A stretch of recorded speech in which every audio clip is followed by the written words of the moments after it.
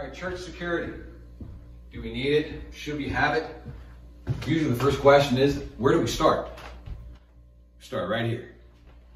Come with me. All right. Usually up front, there's three questions that's asked, okay? It's what can we do? And what resources do we have that are gonna help us in our efforts? And when do we need to start this? What we'll do is we'll consider those the answers to those questions in two time frames, short term and long term.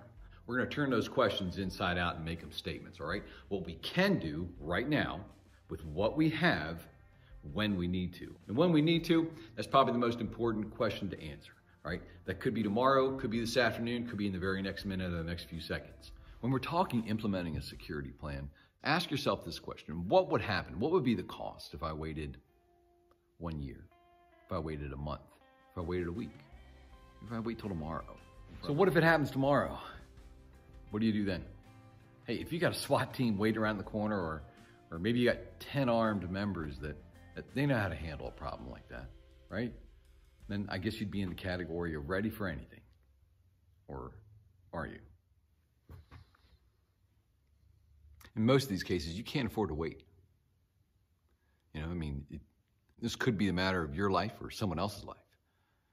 What's going to happen? We can't we can't predict what's going to happen tomorrow, next week, next year, uh, let alone in, in the next minute, right?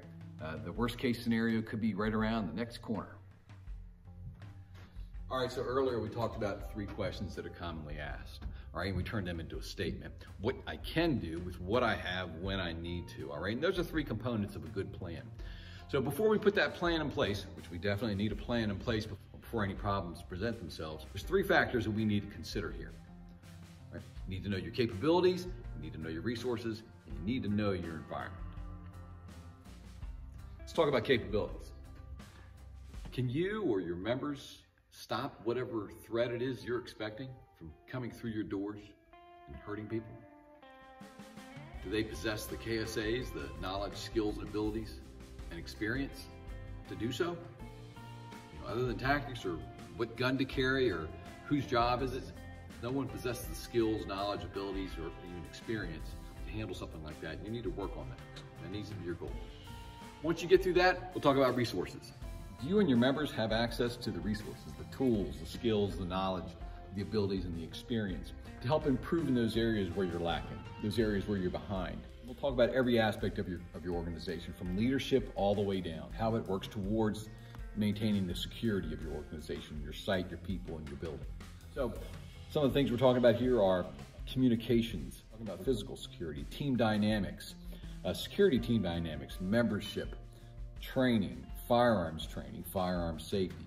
That's just a brief list of the resources that, that you need to consider and that you need to have in your pocket or have access to. Now let's talk environment. All right, environment. Not just the building that you're in or the property that you're on, but your neighborhood, the city, what surrounds you, the area that surrounds you, the region that you're in. Okay? Your little patch of goodness may be right in the middle of a gang war or, a huge drug problem and it's plaguing the nation and it encroaches a little bit more each and every day. Okay? These factors, Okay, these factors, your capabilities, your resources, and your environment. Those three factors together help you define your next steps for a focused and practiced plan. For now, let's focus on your most pressing issue. All right, and to do that, we're gonna use WIN, W-I-N. All right, earlier we talked about considering all the factors that we've talked about so far into two time frames. We got a short-term time frame and a long-term. The short term, we're gonna use the acronym WIN, W-I-N. What's important now, right? It's a question, it's a statement, it makes a good motto also. What we need to think of, we need to ask ourselves, is there a problem, is there an issue, is there something going on right now that if we don't address it soon, tomorrow, next week, there's a problem that we don't address right now that someone could get hurt. You need to ask yourself also, are we prepared to handle that problem right now? And if not, call me. Seriously. All right, so for the long term, and you know, in the frame of mind of, of emergency preparedness overall, we don't want to look at just the survivability of our, of our organization or our membership. We want to look at the continued viability. We'll talk about that in another video. Now consider this. Emergency planning is about planning for events that we hope won't happen. Most of the problems we face are little ones, but it's the other ones that we need to be concerned about. So preparedness is planning for survival, all right?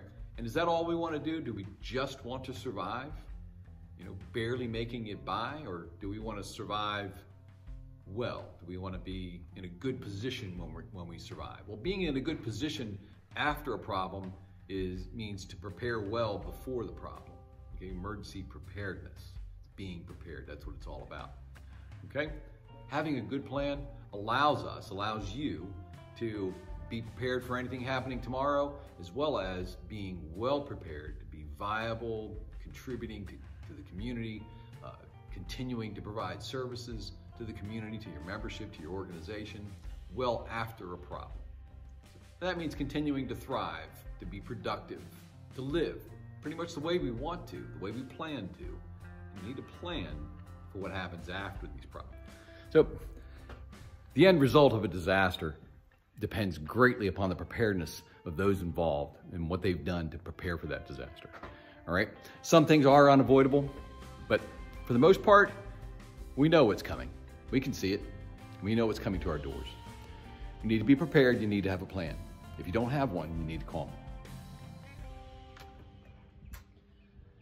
Hi, I'm Rob with Blue Horse Threat Mitigation Strategies and Security Solutions.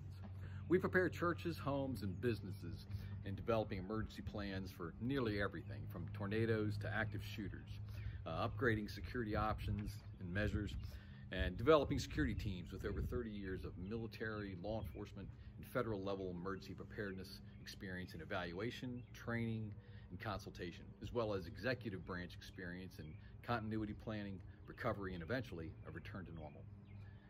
I'll be happy to answer any questions you have to help you be better prepared for the problems you're facing or you think you're going to face. All right, give me a call. Let's talk.